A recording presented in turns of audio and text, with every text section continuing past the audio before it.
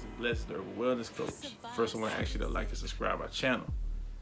Now, today we're going to talk about high blood pressure and a herb that could be used to lower it. You know, probably within 30 minutes, you know, something like that. The herb I'm talking about is olive leaf.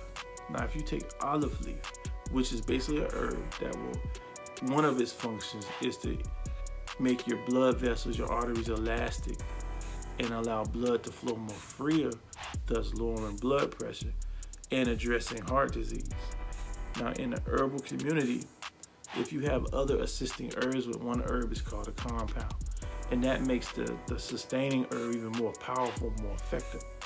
Now, for like a blood pressure regulator, you know, herb assisting herbs would be like dandelion, sarsaparilla, you know, uh, hawthorn, which basically allows the blood to flow for the heart.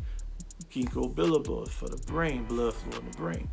Now, you don't have to have exactly those, but I've just named a few because there's a lot of herbs for any particular situation that you're dealing with. But if you have something like that in a compound, and then you also add magnesium powder in the morning, magnesium powder at night, you know, that will lower your blood pressure in a decent amount of time. Now, mind you, this is for informational purposes only. I'm not a doctor. Do your own research. This is a, the herbal wellness coach. Oasa's products. Please like and subscribe. One love.